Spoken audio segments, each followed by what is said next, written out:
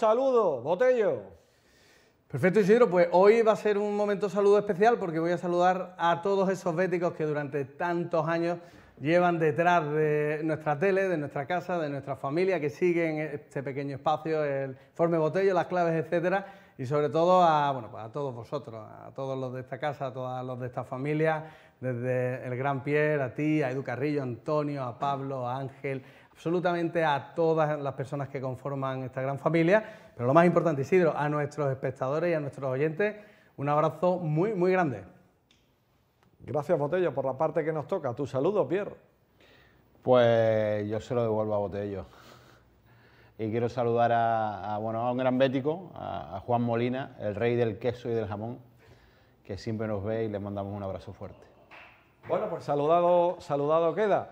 Eh, retomo yo el guante que me ha lanzado Botello. Mi saludo de hoy es para el gran Jesús Botello, el informe que se traslada del plató, noticia que hemos confirmado eh, también a lo largo de esta jornada. Una gran noticia en lo personal para el querido eh, Jesús Botello. Han sido muchos años eh, y el informe que Botello nos va a llegar desde muy lejos, a partir de ahora. Sí, cambiamos el plató, pasamos del estadio Benito Villamarín, que no se puede comparar, pero bueno, por lo menos en la distancia intentaremos estar. Y sí, desde hace algunos, meses, pues la verdad que surge una oportunidad para llevar el beticismo a otro continente, para seguir eh, hablando de Betis, para seguir con, la afición, con vosotros. Y aunque entraremos en profundidad a lo largo de, de esta semana, pero sobre todo Isidro, Gracias, en la palabra que se me ocurre de corazón.